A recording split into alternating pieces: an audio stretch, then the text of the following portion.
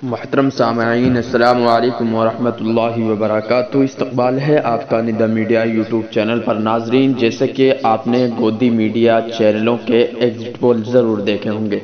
गोदी मीडिया, हर वो गोदी मीडिया, ये खबर दिखा रहा है कि बीजेपी की सरकार यूपी में बनने जा रही है। लेकिन नाजरीन, आपको बता दें कि यही गोदी मीडिया ओपिनियन पोल में ये बता रहा था कि अखिलेश यादव की सरकार बनने जा रही है। तो अब ये गोदी मीडिया कटघरे में खड़ी है कि आखिरकार इनकी सच्चाई ओपिनियन पोल में है या इनकी सच्चाई एग्जिट पोल में है।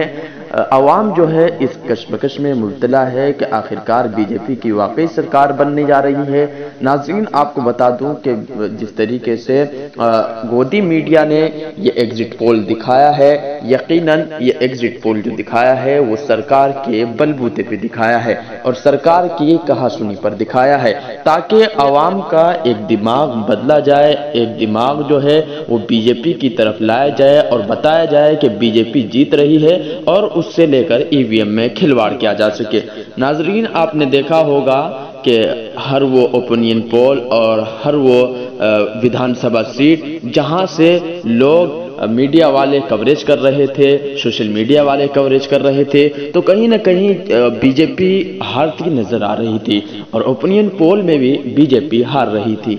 लेकिन अब एग्जिट पोल की बारी इसलिए आई तो इसलिए उन्होंने एग्जिट पोल में दिखाना शुरू कर दिया कि ईवीएम में धांधली की जाए ईवीएम से छेड़छाड़ की जाए और भाजपा की सरकार बनाई जाए। तो इसी को लेकर अखिलेश यादव ने एक बड़ा ऐलान जारी कर दिया है कि ये लोकतंत्र की आखिरी लड़ाई है और अब जो है हमें लड़ना होगा।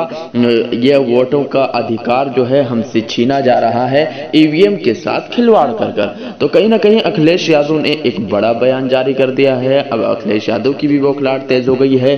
जब इलेक्शन से पहले ईवीएम पर कोई सवाल नहीं उठा रहा था, क्या ईवीएम को आखिरकार सुरक्षा क्यों नहीं दी जाती? ईवीएम से आखिरकार क्यों छेड़छाड़ की जाती है? ईवीएम को कहीं से कहीं ले जाया जाता है और कहीं पर भी रखा जाता है और वहाँ सुरक्षा के इंतज़ाम नहीं रहते हैं।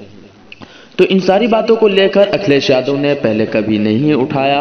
ये मुद्दा कि ईवीएम से छेड़छाड़ ना की जाए और कि इलेक्शन कमीशन को ये चीज़ नहीं बताई कि ईवीएम को पूरी सुरक्षा दी जाए। और आज जब ईवीएम के साथ छेड़छाड़ की जा रही है ईवीएम यहाँ से वहाँ ले जाया जा रहा है, दूसरी जगह शिफ्ट किया जा रहा है तो अब अखिलेश यादव की बौखलाहट भी तेज हुई है। तो कहीं ना कहीं अब जो है बीजेपी सरकार ईवीएम के साथ छेड़छाड़ करके दोबारा से बीजेपी की सरकार यूपी में बनने जा रही है। तो नाजीन ये अखिलेश यादव का ये बयान आपको कैसे लगा? कमेंट सेशन में ज़रूर बताइएगा। इस वीडियो को ज़्यादा से ज़्यादा शेयर कीजिएगा। क्या वाकई बीजेपी की सरकार यूपी में बन सकती है? कमेंट सेशन में ज़रूर बताइएगा। शुक्रिया।